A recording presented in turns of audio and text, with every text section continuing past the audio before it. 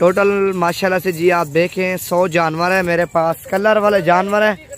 Colour वाले जानवरों का ये फ़ायदा है, आप किसी शहर में लेके पालें, अल्हम्दुलिल्लाह कलर वाले जानवर कामयाब हैं। जिस तरह पिंडी हो गया, लाहौर हो गया, इस्लामाबाद, पिशावर, आज़ाद कश्मीर और रावला कोट पाकिस्तान के जितने भी शहर हैं तो आप उन शहरों में लेके जाएँ। कलर वाले जानवर अलहमदिल्ला एक तो पलते हैं दूसरा इनके बच्चे कीमती सेल होते हैं।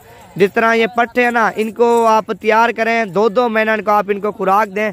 दो महीने तक अलहमदिल्ला जितनी भी है ना, जाते करास हो जाएँगी। अभी थोड़ा छोटा काद है ना, दो महीने तक काद भी बढ़ा लेंगी।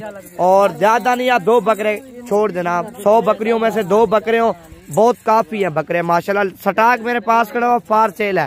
तो फाइनल प्राइस साढ़े तेरह हज़ार के हिसाब से लाट आपको मिलेगी। लेकिन चीज़ें आप देखें, जो प्रिंट है वो आप देखें। माशाल्लाह से अभी हमने सैलेड डाला, मकई का टोका। तो वो भी आपको शेयर करेंगे। वीडियो पसंद आए तो लाइक भी करें और ज़्यादा से ज़्यादा अपने दोस्तों के साथ भी ये वीडियो शेयर करें। चीज़ें आप देखें प्योर चीज़ होती हैं और हर नस्ल का जानवर होता है। जो हमारी प्राइस है ना मार्केट से सस्ती है। मार्केट भी आप देखें, जितने भी फार्म हैं वो भी आप विज़िट करें।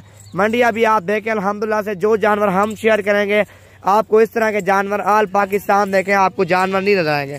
तो ये आप देखें सैलेज है अलहमदिल्ला दोपहर में आप इनको ये देते हैं, सुबह तूड़ी, चौकर वगैरह खाल देते हैं तो अलहमदिल्ला शाम को हम ज़्यादा नहीं एक एक बकरी को एक एक एक एक पाव देते हैं गंदम।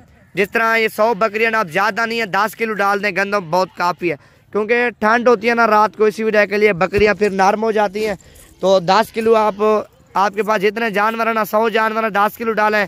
आपके पास कम जानवर है ना, पाँच जानवर हैं, दस जानवर हैं, बीस जानवर हैं या तीस जानवर हैं, आप उनको ज़्यादा ना डालें। एक एक पाव रात को, अल्हम्दुलिल्लाह से जब बकरी अंदर करो ना एक एक पाव फिर बकरी को आप गंदम दें। क्योंकि हीट पे फिर जल्दी आएँगी, फिर सर्दी में नहीं लगेगी, ना बीमार होंगी, ना अल्हम्दुलिल्लाह से कुछ उनको नहीं होगा। तो हीट पे फिर गंदम से बकरियाँ जल्दी आती हैं, फिर जल्दी क्रास होंगी।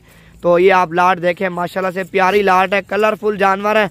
तो इस नस्ल का जानवर आप जहाँ पालो अलहमदिल्ला से पाकिस्तान के किसी कोने पे तो ये जानवर पाल जाता है। प्राइस में बिल्कुल कम है तो जानवर भी आप देखें, माशाल्लाह से नवीद गोड फार्म पे हर नस्ल का जानवर होता है। प्राइस कम होती है, जानवर खालिश होते हैं।